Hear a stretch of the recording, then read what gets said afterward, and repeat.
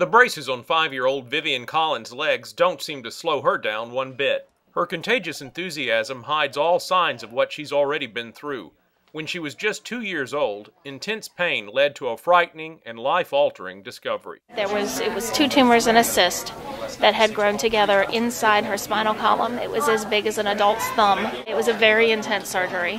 They did get all of the tumor. The cyst is what kept it benign, which is wonderful. uh, she's had six surgeries in the past three years, and we're looking at another major surgery coming up probably this summer. That surgery will correct a hip problem, but other surgeries may be needed to correct other complications that may arise as Vivian grows. The tumor itself did a lot of damage. You have to move a lot of stuff around when you have to open the spine to begin with, and it's stuff, you know, you don't really expect it, but you expect problems when you have to do things like that. For Donna and her husband Michael, Vivian's prognosis is unclear. Growth spurts can cause bladder or bowel problems or increase or decrease her mobility. For now, the Collins family and Vivian's six specialists are taking a wait and see approach. But no matter the challenge, Vivian continues to inspire. She has good days and bad days. Today is a good day and she's all over the place. There are also days that she cannot get out of bed because she's in that much pain. So, but today is good days, and as long as we have more good than bad, we're happy. She is very humbling. She has such a positive attitude and such a great spirit.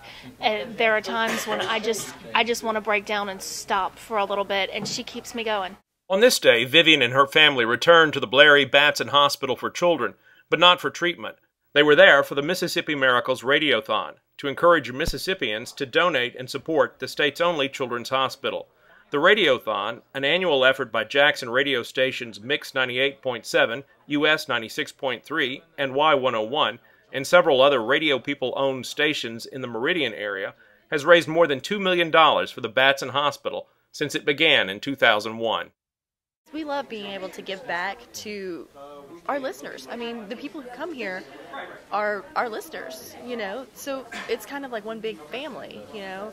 We um we just want to make sure that the kids here in Mississippi have the best possible chance for recovery, whether it be a broken bone or cancer. You know, that's why we're here. We want to make a difference.